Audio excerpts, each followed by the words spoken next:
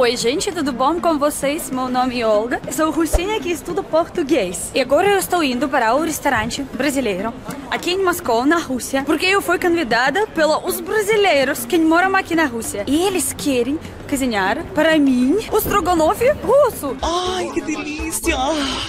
Eles falaram, amor, vem aqui. A gente vai mostrar para vocês como os brasileiros fazem o estrogonofe. É sempre um prazer bater um papo com os brasileiros e para perguntar aos brasileiros que moram na Rússia como para eles é a vida aqui. E agora eu vou para aquele restaurante. Oh, eles já tá lá.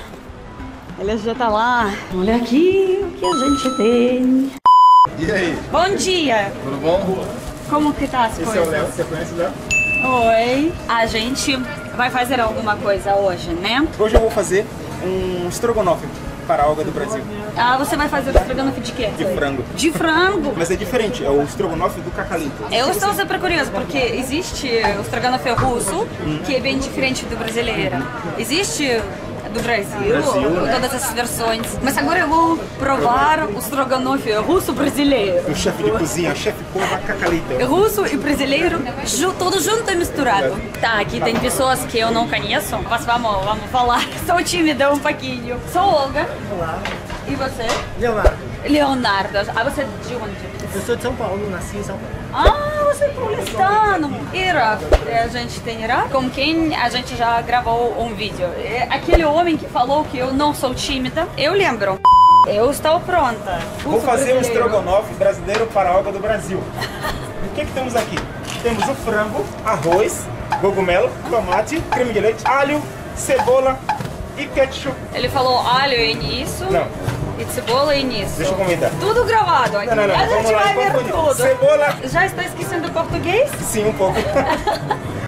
Gente, vocês sabem, o estrogonofe russo e brasileiro são realmente pratos diferentes porque tem diferentes ingredientes, né? Quando você faz uma coisa, outra coisa, mas o nome é parecido. Eu já vejo que a- os ingredientes são bem parecidos com uh, o estrogonofe brasileiro. Exatamente. Porque ele pegou uh, creme de leite, por exemplo, e cogumelos em conserva. E, pelo amor de Deus, Batata a gente frita. tem até batata palha. Batata palha. Ele realmente está esquecendo o português. Eu vou traduzir em português tudo para vocês, por favor, gente. por favor. E você pegou o ketchup com mostarda? Exatamente. Já juntos? Junto. Nunca nem vi. Eu não sabia que existe. Eu também não sabia que existia. Tem no Brasil? No Brasil, nem sei. Agora no Brasil, não sei. Escreva nos comentários. Tudo junto e misturado. São todos em pedacinhos, sim. Aham. Pra ficar legal. Sim. Nossa, é. eu não Ó. conheço esse prato. Sim. Agora vamos botar aqui numa tigela Opa, Sim. magia, magia, a magia. magia. Magia que está vai ter aqui? acontecendo. E aí já vou cortar já a cebola. Já tá aqui. Sal e cebola. Isso é aqui. pimenta, Pimenta, pimenta do reino. Sal, né? sal. Ó. Eu percebi que no Brasil, ah, parece que quando vocês fazem o estrogonofe, vocês cortam em cubos. Em cubo. Assim, Muito bem, Sim, você sim, sabe, sim. é. Porque eu vi os fotos. Sim, muito Porque bem. no o estrogonofe russo, você sabe como? É em tira. Tiras. Tiras, vocês em tiras, a gente fala tiras. Como iscas. Isso é Tipo como iscas. É, a gente, a gente fala em tiras. Se eu fosse aquele grande chefe de cozinha da Turquia, eu botava o sal assim, ó. A posição. Mas eu sou baiano, eu sou da capoeira, foi ó. Posso fazer também?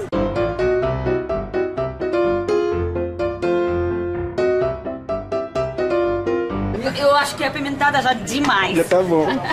Já deixa aqui já pra dar uma segurada. Sim, agora vamos na cebola. Eu estou curiosa, como os brasileiros cortam a cebola para o estrogonofe? Eu vou botar metade da cebola. Vou botar assim. Sorry. Ó. Você está cortando realmente como uma açougueiro. Açougueiro! Vou falar um segredo, minha gente. Eu nunca provei o estrogonofe de verdade brasileiro, no jeito brasileiro, no Brasil. Eu só percebi que os ingredientes diferentes e o jeito de cozinhar diferente são provavelmente pratos diferentes também. Eu estou super curiosa e meio perdida, porque não sei o que eu vou comer agora. Ele fala o estrogonofe, mas o estrogonofe não é russo. Os ingredientes são diferentes. Eu vou falar a verdade, eu agora estou e curiosa e meio perdida no mesmo tempo, porque ele fala que eu vou comer agora o estrogonofe, mas eu não reconheço esses ingredientes. Na Rússia a gente não usa isso. Agora eu não entendo. Eu vou comer o estrogonofe brasileiro raiz ou alguma forma criativa, isso vai ser o strogonoff baiano, não é menos. Estão as coisas? Você me assustou isso, cara.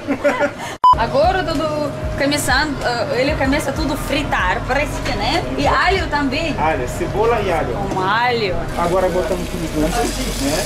O alho, a cebola e o frango. Aham. Eu vou botar um pouco mais de, de azeite, azeite de oliva. Nossa! Isso realmente é algum prato De cacau e da russa. brasileiro brasileiro. Eu acho que a gente vai, sabe o que? O strogonoff baiano. Ou pode ser, pode ser. Foi alguma forma nova. é? Você tá sentindo? Cheiro de Coisa boa. Depois Alguma, vamos sim. fazer um prato com três fileiras. Arroz, estrogonofe batata. palha e batata palha. Gente, ele tá cortando tomate agora. Realmente pensei que não é, é, russo, o strogonoff vai ser mesmo brasileiro. Mas no Brasil vocês colocam o tomate no strogonoff? Às vezes sim, às vezes sim. Não acredito. Pode ser na Bahia as pessoas colocam tomate, né? No strogonoff, quem sabe? Tenho certeza que vai ser gostoso, porque a combinação do alho, tomate e azeite são, tipo, gostosos, muito, sim, claro. Opa! Essa é a Agnesa, advogada. Oi, oi. Brasileiros fazem sucesso na Rússia. Não, nossa, todo mundo conhece todo mundo. Eu não conheço ninguém. Vou ganhar amigos agora mais brasileiros. Agora vamos entrevistar o dono do restaurante, né? Eu já falei pra vocês, né? Os brasileiros fazem sucesso na Rússia. De novo, abrem os lugares. Você já morou aqui quanto tempo? Seis vai fazer sete anos. E você chegou aqui na Rússia, mudou pra Rússia por causa do Não, minha esposa é russa. Ah, por causa do amor. Somente por amor. por amor. Como chegou a ideia de abrir o restaurante? Porque todos Por os acaso brasileiros... é, acabou acontecendo. Eu nunca trabalhei nessa área, em outra área, Aham. mas ah, depois da Copa do Mundo a gente resolveu trazer açaí para a Rússia. Ah, primeiro foi açaí. Sim, começamos a trabalhar como distribuidor de açaí. E como foi o sucesso do açaí para os russos? É, é difícil porque é um produto novo, então Aham. precisa trabalhar bastante. A gente ainda está fazendo esse processo. É, a próxima quarentena né, impediu um pouco o crescimento, dificultou. Uhum, E no meio dessa confusão a gente falou, olha, vamos abrir um ponto para a pessoa provar o açaí, né? Para Uhum. conhecer, não só vender o produto, porque não é conhecido. E daí surgiu a ideia de abrir um café primeiro. Um ponto pequeno, mas no centro da cidade, onde as pessoas poderiam provar o produto. Depois disso apareceu a oportunidade de abrir um steakhouse também, carnes brasileiras, com a picanha, feijoada, coxinha. E muitas pessoas ah, vão para o restaurante para provar comida. o, Sim, que, o que os russos gostam de comer aqui? O que Ah. chega mais frequentemente para comer? A picanha, muito. Ah, carne. Eu, esperei, eu tava esperando que você vai falar sobre carne. A maminha, a fraldinha, essas carnes é bem procurado e hoje em dia os russos aprenderam a gostar muito dos steaks. Do jeito que a gente faz, só com sal, né, sem aqueles molhos todos, gostam disso. Depois a coxinha também, a feijoada é muito bem aceita. Ah, o açaí é um produto que no verão bomba muito. As polpas de fruta também que a gente traz do Brasil. Café do Brasil, que a gente torra aqui. É muito legal, muito legal para quem sabe no Brasil, para quem gosta da comida brasileira, para chegar, para ter a oportunidade para Sim, comer muitos algo. fazem isso. Como agora a Agnes vai trazer uns amigos para provarem pela primeira vez. E- Então e- acaba acontecendo essa... É incrível! E eu vou pegar seu açaí para gravar o vídeo com meus amigos. Eu eh, ah, finalmente achei um bom açaí na Rússia. Super obrigada, é sério, e realmente. Eu não sei como aconteceu. Ah, Eu amei desde a primeira vez. É, desde a sim. primeira vez, eu peguei uma colher só. A casa que a minha esposa, por exemplo, não gostou é, de tanto eu insistir, dar de vários tipos, batido com essa fruta. Hoje em dia ela já pega o açaizinho dela e faz. né? Ah, não, não entendi do começo, mas depois, depois pegou a ideia. O que você foi fazendo no, no São Paulo? Você é paulistano, né?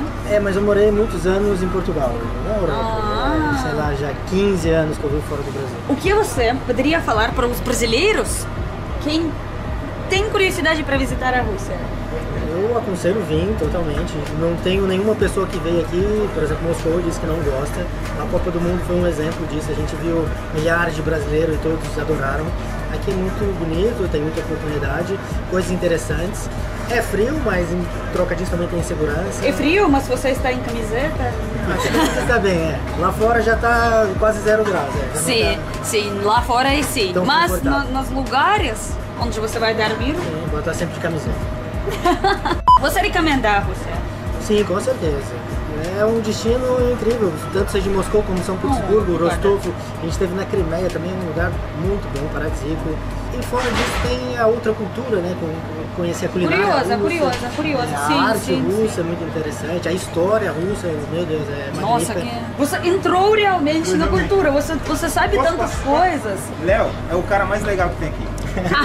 é sério.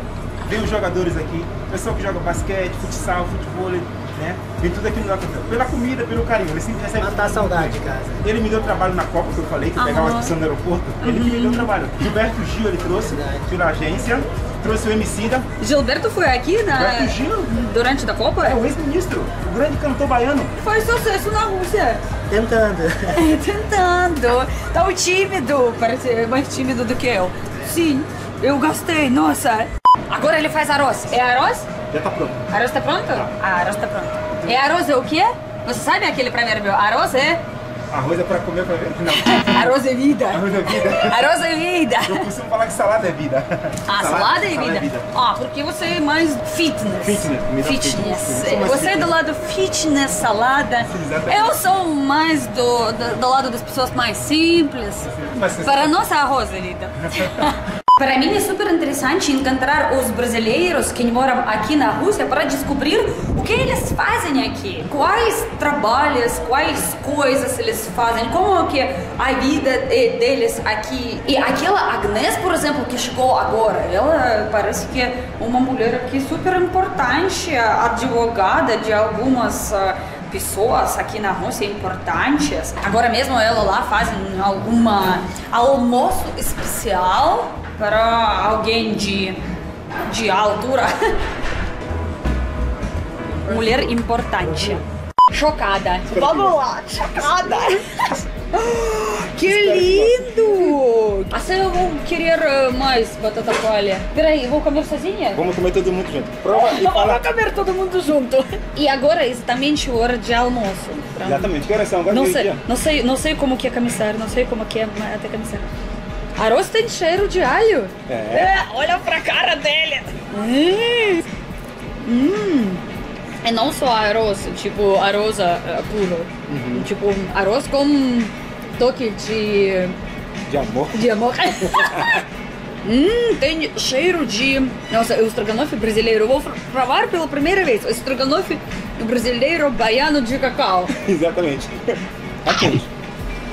É algum prato novo para mim. Sério? Sim, eu, eu não provei. Eu não provei o estrogonofe Primeira no? Brasil. Não? Uh-uh. Eu vim da Rússia não para comer o estrogonofe no Claro. Brasil, sabe, né? Eu queria coisas locais, Uhum. de diferentes regiões. Churrasco, carne, carne, açaí, Moqueca. coisas lo- locais, Locais, que eu nunca comi E antes. tradicionais, né?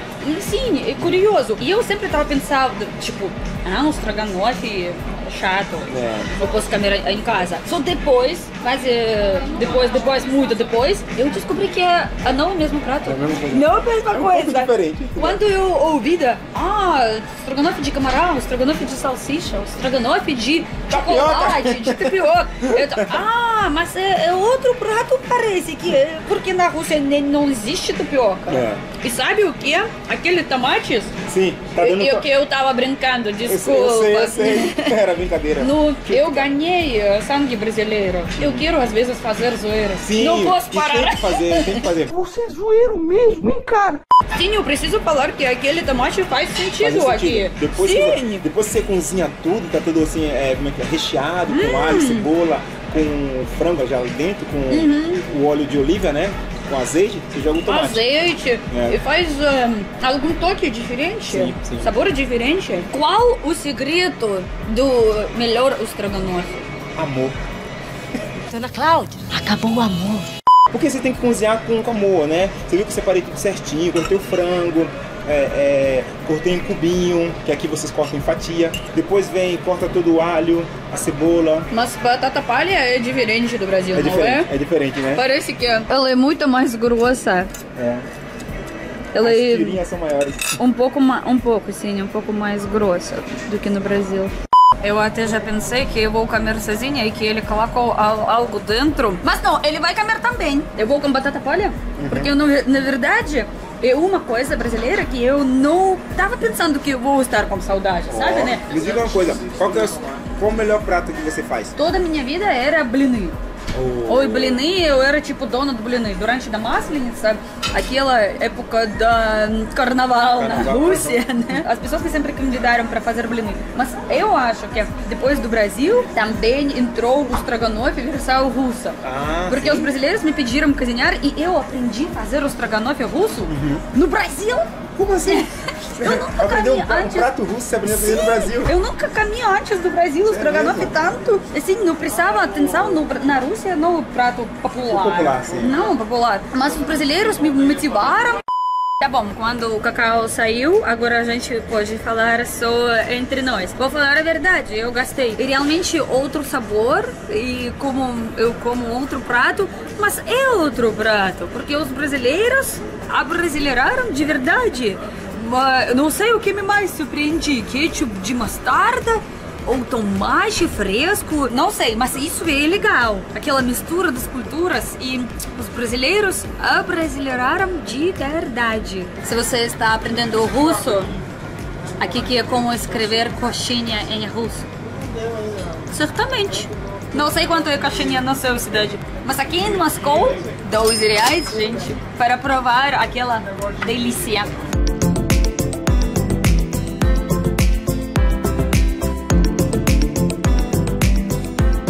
Eu falei agora pra Rafa, eu tenho seguidores que me perguntam que tipo, ah, queria ter esposa russa ou marido russo. Ele começou a rir. É muito bom, é muito bom, experimentem. Vocês vão gostar. Qual a complicação principal? Quando, quanto tempo vocês já são casadas? Quatro anos. Quatro anos. Quatro anos. E tem coisas complicadas algumas? Sim. Oh! Claro. Cultura. Cultura? Cultura, Mas quais hábitos. coisas? No, por exemplo, algum momento na cultura? Nós brasileiros, brasileiros, ó, brasileiros. Brasileiros. Você vai editar isso depois, né? Então tá Sim. tudo certo. Né? Nós, certeza. nós brazucas, nós brincamos muito, levamos uma vida mais light. Fazem zoeiras. Zoeiro o tempo Sim. todo e o russo não. e às vezes é muito difícil para eles entenderem. Então é um- uma luta diária de aprendizado com a minha esposa, que faz quatro anos que eu tenho. E tem sucesso? É, alguns sim, outros eu, eu perco algumas batalhas, não tem jeito. Faz parte. Faz parte, ganhar, Faz parte. perder. Alguma coisa pelo contrário, alguma coisa legal nos seus relacionamentos. Aí eu tenho que pensar, vamos ver. Você edita isso depois, quero- Com certeza. Vai colar, eu vai me transformar em meme, pelo amor de Deus. As coisas boas como tem em qualquer casamento com qualquer companheiro. Ah, sim, quando você ama alguém. Sim, exatamente. Então eu acho que as coisas boas é o que você encontra em qualquer amor Hum, verdade. você escolhe pra sua Não, vida. É verdade, é verdade. Às vezes a gente não pensa, né? Ah, o que, que tem de bom, o que, que tem isso, mas por ela ser russa, o que, que tem de bom? Gente, é uma pessoa como outra qualquer. O que pesa mesmo pra gente é o lado cultural, que realmente é muito diferente. Diferente, é muito diferente. diferente, diferente. Por mais que os russos falem, ah, nós somos abertos, hum, não. Não. Eles não são, eles são mais fechados. Em momentos de seriedade, eles são muito sérios. Então, em momentos de dificuldades, eles são mais sérios ainda. A gente é brasileiro, momento de dificuldade. Peraí, a gente tem duas opções. o Ou a gente o sofre, tem pra fazer? vamos achar um caminho melhor. Então, Mas os russos vão parar para pensar na vida algumas semanas se algo Sim, acontece. Já o brasileiro não, né? Não, não, não. ah, Os brasileiros ah, são muito mais leves. Por causa de Eu falei, coisa que eu não dá falei. pra resolver. Ah, deixa pra lá. Eu senti isso muito agora quando voltei do Brasil para a Rússia. E eu não sei, antes foi melhor ou eu não estava percebendo antes?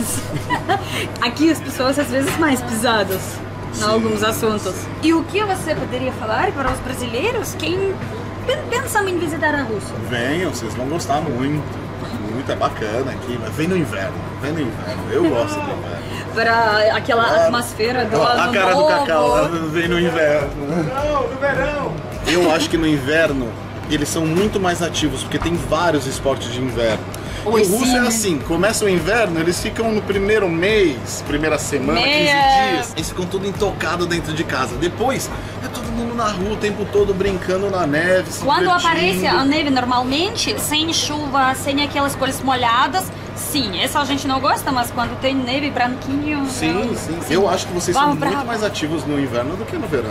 Vai turistar aqui. Porque é alguma coisa diferente para os brasileiros. Exatamente, você vai vir no verão, Ele é uma é- coisa ele- do Brasil, ele é calor, a gente na, no parque. Calor você tem no Brasil. Mas, exatamente, Calor você vai ver no no- inverno. E é lindo, é sensacional aqui no.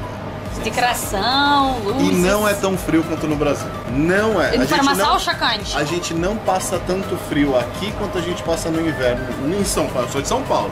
No inverno a gente pega às vezes 0 graus, 2 graus. Eu passo muito mais frio lá do que menos 15 aqui. Porque aqui tudo é preparado, você anda Tudo preparado pra roupa. você. Tudo perfeito pra você não passar frio. Pra você se acostuma. Vale a pena. Vale a pena.